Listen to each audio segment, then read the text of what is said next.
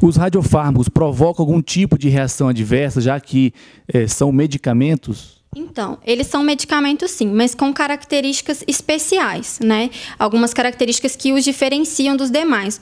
E uma, é, a principal delas é que eles contêm um teor de princípio ativo de dosagem muito baixo.